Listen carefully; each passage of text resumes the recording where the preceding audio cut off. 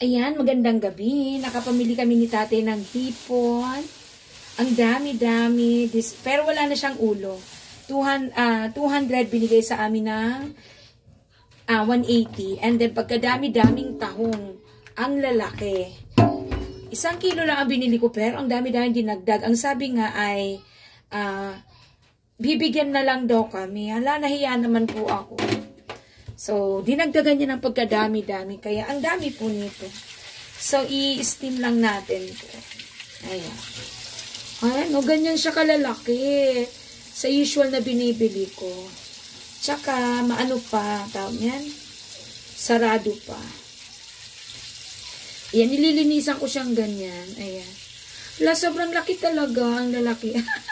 Nakakatuwa lang. Nahiya lang ako binibigyan na, binibigyan pa sana kami ng pagkadami-dami kasi nga pauwi na.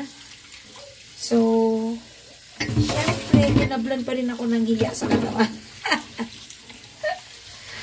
so, ayan, mamaya lulutuin ko to ipapakita ko po sa inyo. Ay, uunahin ko pala yung ano, yung bangus, ay, bangus. Tsaka may order pa akong tilapia, tatlong kilo. Ayan. 90 lang ang kilo ng tilapia. Ayan oh, pagkadami-dami pa. Wala na siyang ulo. Pero pagkadami-dami pa. Lulutuin na natin. Una nating lulutuin ito. Kukuha lang muna ako ng strainer. Ayan. Wait lang. Ayan. Dito natin. Ay! Wala, pagkadami-dami.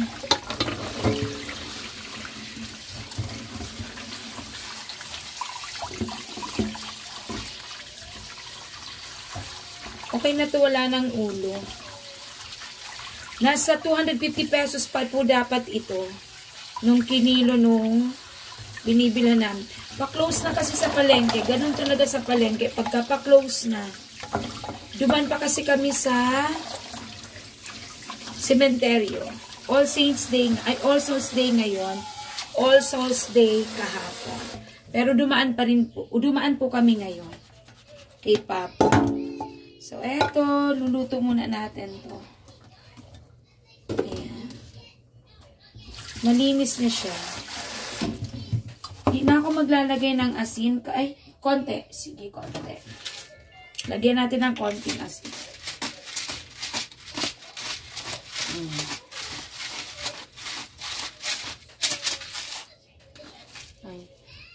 Nag-order din ako ng tatlong kilong tilapia. Wala pa. Nag-deliver pa lang daw yung in-order. So, ayan. And then, gagawin. Bumili rin ako ng saging. Ang mahal ng saging, 90 per kilo.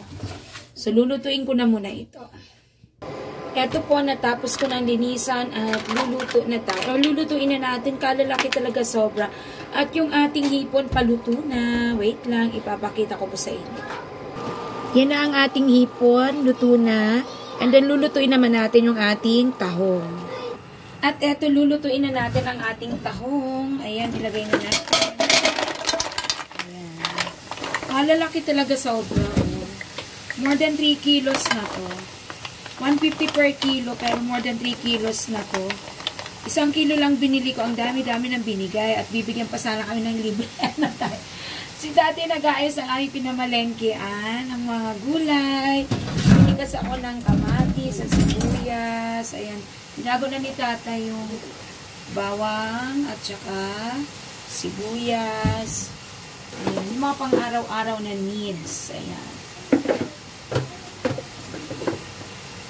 So, ayan. Lulutuin na natin to. Yung ating uh, hipon luto na. So, tahon na lang. Kahingin na lang ako pa ng cover ng ating tahong para sa ating tahong. So, ayan. That's all for today. Thank you for watching. Bye! Love you all. God bless us all always.